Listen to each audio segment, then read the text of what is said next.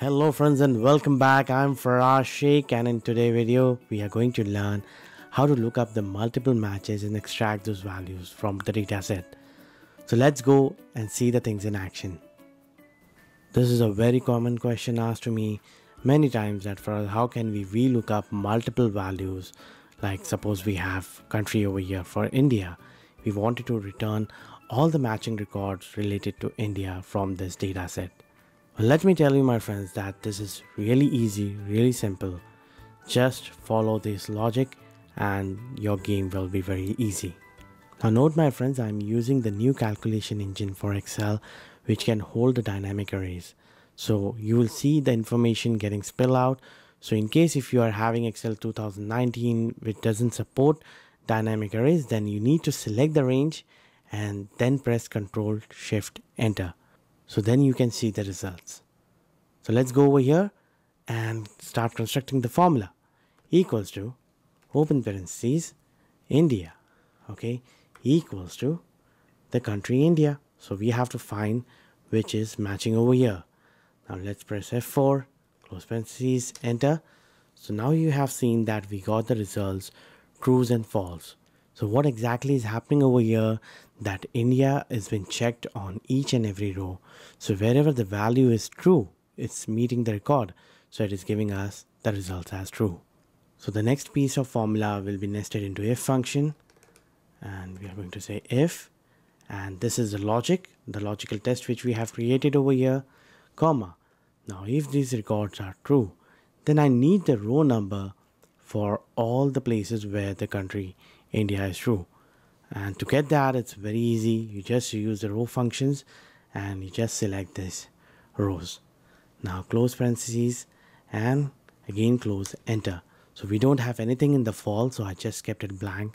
So it has returned me the false value as false. Now if you see that over here we have the row numbers starting from 2, 6 and 7 but we need the number to start from 1. The reason why we are getting 2 over here because the row is starting from B2. So I need to just adjust that value saying minus 1. So I got that as 156 and so on. Now this number is very important for us. Now we need to sort them into an ascending order so we get that correct results. So I'm going to use another function which is called small and we are going to use this formula which has been constructed over here array and the row number. Again we are going to use the row function and this will be the range again. Close parentheses minus 1 again. Enter. So we got those numbers sorted. 156 so we don't see these blanks over here and we are having correct numbers of 156 and then there's a num error so nothing to worry now we are going to wrap this again this function. I'm going to use an index function and I'm going to take this range and make this as an absolute reference, comma, and now the row number. You have guessed it right, my friends. I'm going to select these rows numbers. So this row numbers will help me uh, to get that position of that records, comma, the column number. This is interesting. So I'm going to use the curly brackets and that will be my column number one and column number 3 yes 1 comma 3 close the curly brackets and now close the parentheses. Enter. Bingo. So we got the records apple kiwi cherry and let me wrap this again into an if error. So if error and this is the cell value and I'm going to press the pound key so it will automatically expand that dynamic range of array comma and if the values have errors then put it as blank. Enter. Voila. So we got those records over here.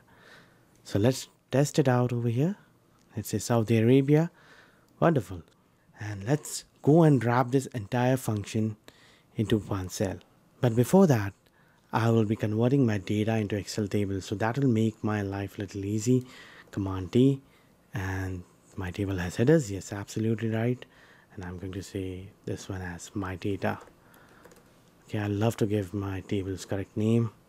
My data. Perfect.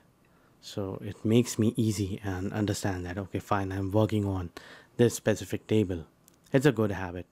So let's go and say that equals to open parentheses and this is my country saudi arabia equals to the column in the country region. So enter. We got that trues and false. Now let me wrap this into an if function. If open parentheses. So this is my logical test. Again I'm going to use the row function and look into the country row. It's not necessary that I have to look in the country row only. I can look that row in the fruits also. I just need to get the row numbers. That's it. So and again minus 1 close parentheses enter. So we are on to this location right now. So let's see going with index match.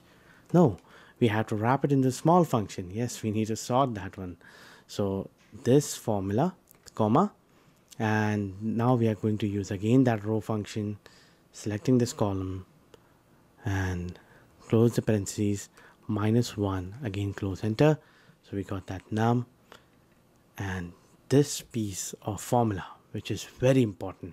So I'm just going to copy this one and I'm going to wrap into index. And this is my array. So I want to look into the entire table of my data comma. And I'll just paste that construction of formula which we have created for the row numbers comma. And the column number again we are going to say 1 comma 3 into that curly brackets close parentheses enter. Bingo. Now in case if you don't have that dynamic array you will just write this formula over here and just select the range hit F2 and then press Control Shift Enter. So one last thing which is left over here I would uh, go over here and say if error and if my error is there then just return this as a blank value. So this is all done. So I'll just remove this stuff from here. And let's see that how this thing works. Oh let me put it back because that will look nice what is going on. So we can see in between the steps what is happening. So let's say India. So we got the results of India. Uh, USA we got the results for the USA perfect so let me go and add some new data so I have some new data over here I'm going to take this data and going to paste it over here so now if you see this new dynamic array range has allowed me to spill that information earlier we don't have records for Saudi Arabia as watermelons. Now we have that. And let's go and check for India. Again, we have some new records. Now, if you see that you have apples repeated twice, so which was on the first row and then it was on the 11th row. So we got that records also over here, nicely being plotted over here. Let me show you one bonus step. Let's say that if somebody removed this records from here, you would just return all the numbers okay so let's try to do that one over here keeping this formula intact let me cut this one and I'm going to say if if this is equal to blank you know if this country is equal to blank comma and if it is blank then I need to return all those one right? So I'm going to use the index and index and that will be this data set and the row numbers. Now this time I'm going to say row and again I'm going to select the country close parentheses minus 1 and columns again will be like 1 comma 3 in the curly brackets okay because we are using array. And uh, that looks perfect. So you can close the parentheses. If this value is true now let's go and do the action for the false and close parentheses enter. Perfect. So now if we remove this value from here bingo we got records for all this stuff over here. Let me center align it. This will look nice and tidy. Let's say UAE perfect. 49 so we are getting this records over here and this is pretty amazing. So this is how you look up the multiple matches and return them on the other area of your data set. So if you remove it from here, then you get all these records. I would always recommend you using Excel tables because that will make your life really easy. Now if we have the same piece of formula which I have constructed over here, if I go and add this same data and let's see we copy it and we go over here and paste it. Now you saw that the records are not updated over here because it's not going to expand that range. So I would recommend you that guys use the Excel table so that the range will automatically get expand your formula will also get updated.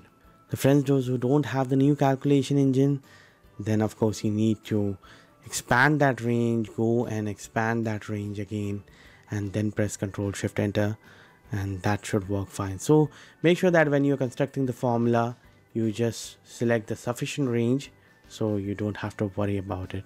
So that's how we look up multiple matching values from your dataset and this all stuff we have done on the Mac system. So no worries my friends. Those are using Windows. Even you can use the same way of constructing your formula and it will work fine. So do let me know in the comment section what are your thoughts about the multiple matching values. Do you have some better technique? Then please share with me. There are many other ways also to look up the multiple matches, but this is very easy for me and it's very easy to understand. So this is how I use look up multiple matching value in my data set. And with that bonus tip, definitely you are going to love that one. So till then, take care and I'm going to see you in my next video. See you soon. Happy learning.